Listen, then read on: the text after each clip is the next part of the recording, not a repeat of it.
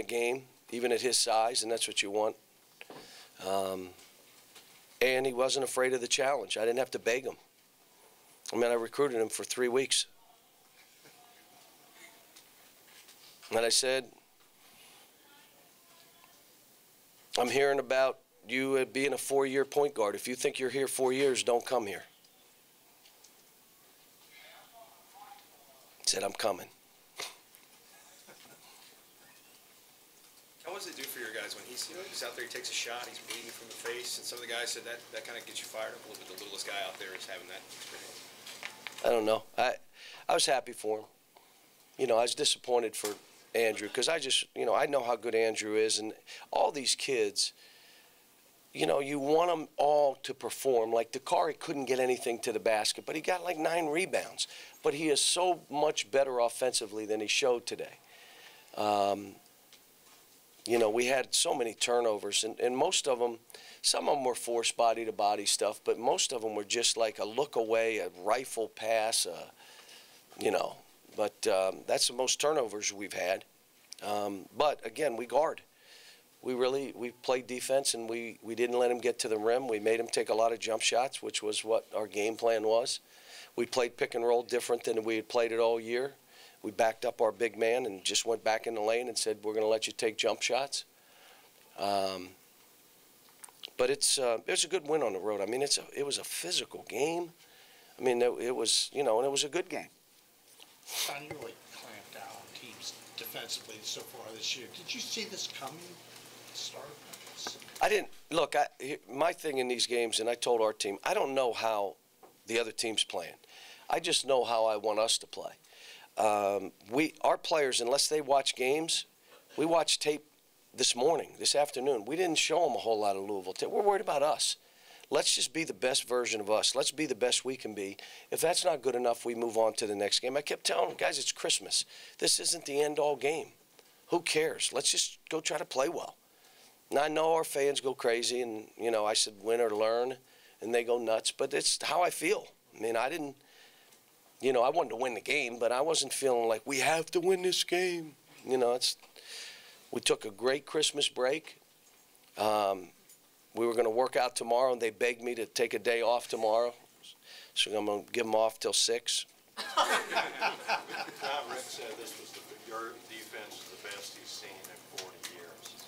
What, what do you, where you're hearing that kind of stuff all season so We got a lot of guys doing a pretty good job of defending. We can play the ball. We can play behind. I'll tell you who was who else was really good today. Trey Lyles. Wow. And that's why I played him as many minutes as I played him. I mean, four assists and nine rebounds and making some jumpers when we were kind of shaky. The only thing we couldn't get our guys to do is I couldn't get them to attack. Devin did it once. Karl did it once. And I'm in the huddles. Don't pull it out. Just keep going. And they, I think, again, they were feeling this game was maybe bigger than I thought it was. I was just telling them play. But, you know, again, I thought Trey played well and Devin made a, a big three. And, you know, same with Aaron. Aaron made a big three in the corner. Is Tyler the one guy that doesn't know better than the littlest guy on the court that seemed to, to be willing to, to attack them a little bit? No, I, I, I think we got a, a bunch of guys. I've got a good team. I really have a really good team. And uh, I have nine guys. I'm going to continue to platoon. I'm not changing. Uh, if a game unfolds like this and I do something different, I'm trying to win the game. I'm going to do it. If one of the guys, like Willie against Texas, plays that well, I'll leave him in. If Tyler played this well or Andrew, then I'm going to let him play. If someone's on fire, I'm not going to take them out. But if they're all playing well, I'd like to play all nine guys. Just play them in a, in a platoon. And let me tell you why platoon. It's easier. I don't have to think how many minutes he's been in. Who's in there? Uh, Just four you. Go. You stay. How easy is that? John, Several how of the ESPN guys are saying, uh, if you win this game, you'll be undefeated going into the tournament. Several of them. What do, what do you make of that? And they picked the Germans in World War II also, so I don't know. But, I mean, I don't, I'm not, look, we, the good news is we got another break. I got nine days to get my team right. We got to put in a, a different zone because we're going to face some different things. I want to put in a different rotating press. I want to do some different things offensively to try because we have time. And I really want to give Dom and Derek an opportunity to see if they fit into that 10 man rotation, either one. But they have to elevate their games to do that because I'm not taking minutes away from these nine when all nine deserve minutes. If those two raise their game, then we'll go back to playing 10 guys.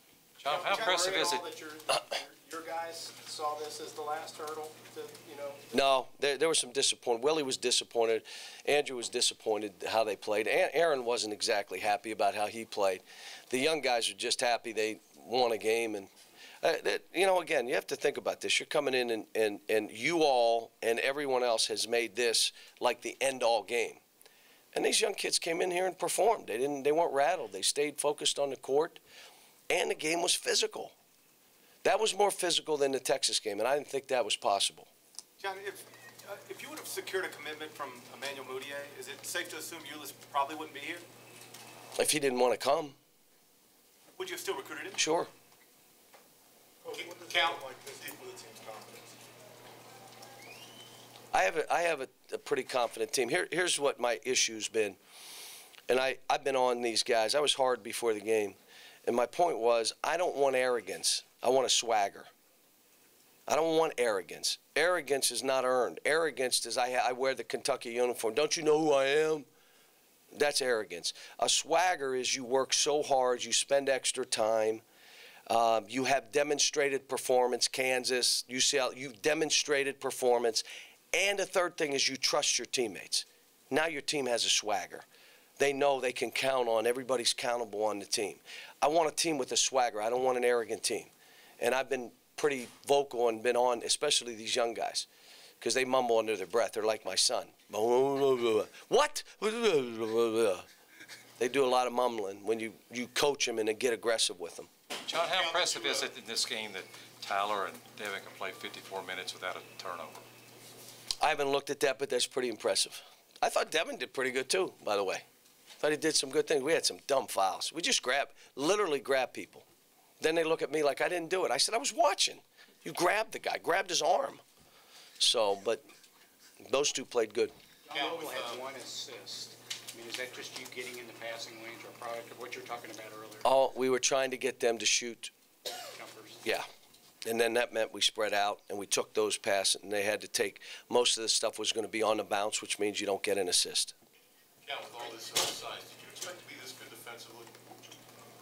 I wasn't sure, um, but I knew with Willie and Marcus Lee, I didn't know Karl would block shots like he did and does.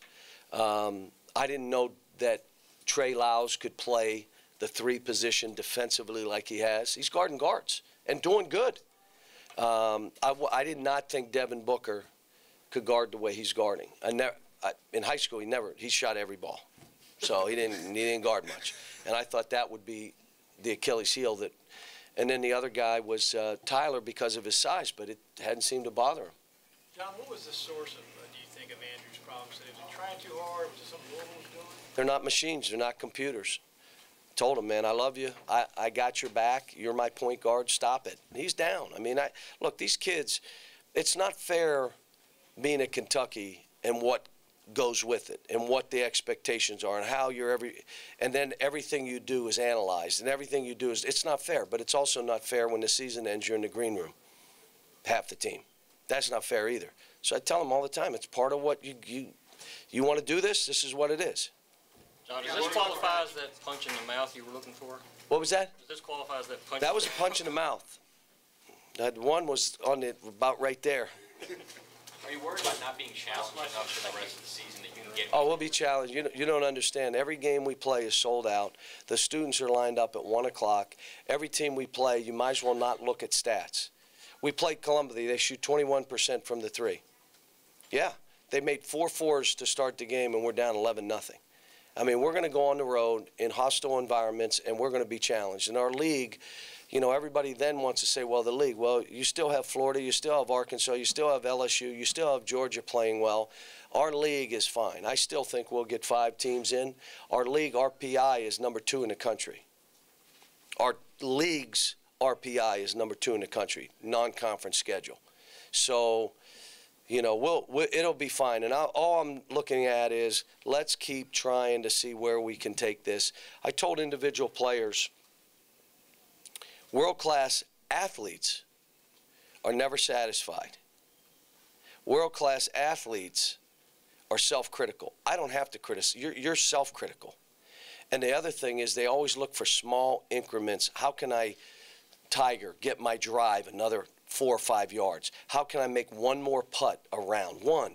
How can I do that? Where can I make those small? Inc- that's world class. And I told these guys, what are you trying to do to add to your game? Just a little bit. What are you trying to do weekly? And I'm keeping them focused on those kind of things. This is, look, I'm having a ball coaching this team. And there's nothing anybody could say or write or do to make me, I'm having, I wake up every morning whistling and skipping. This is the greatest group, and I'll tell you why selfless.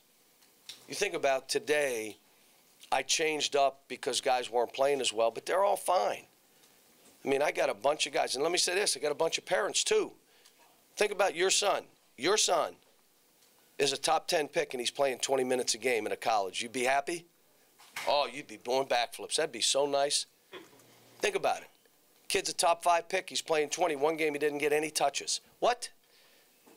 Coach, we love you. Thanks for coaching. Our, I mean, I got the greatest group of kids in. That's why I want to enjoy it. Because let me say this it's not always like this. And we just happen to, the moon and the stars have connected. Now let's see what we can do with this. Thank you.